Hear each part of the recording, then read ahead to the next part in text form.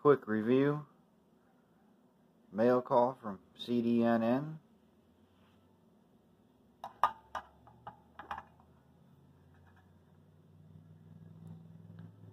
Made in Korea.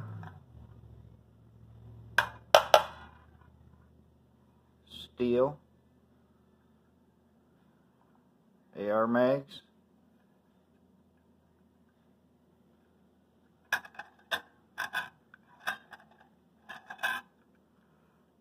Spring's really stout in these.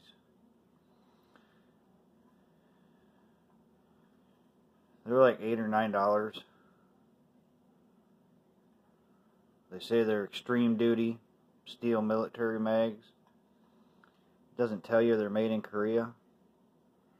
Obviously South Korea. Got four of them.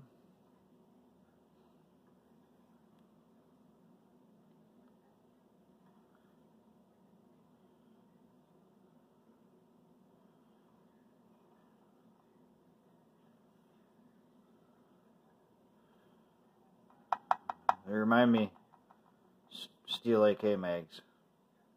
Very stout.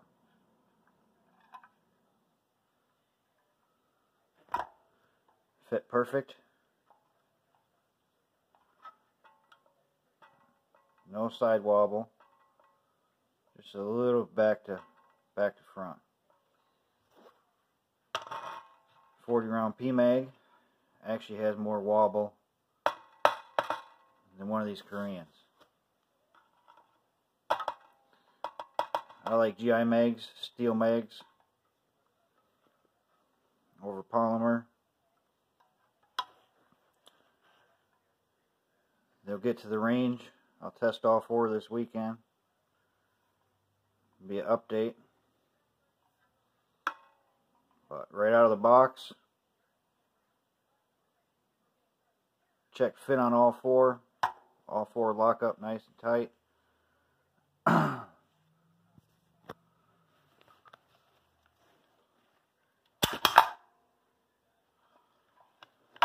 Excellent drop free.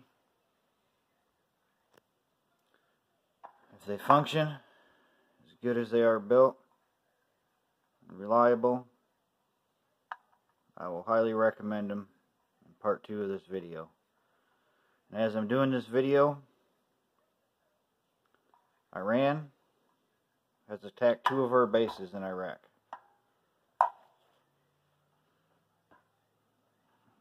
I don't support anything from China no more. I don't have a problem buying Korean or any other country that actually supports us. China wants to have our guns taken away. That's what I think of China.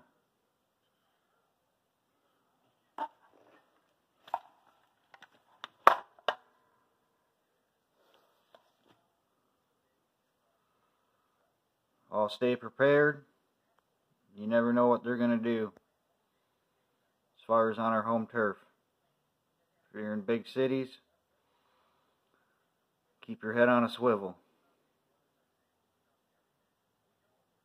Support all your rights. Stay alert, people.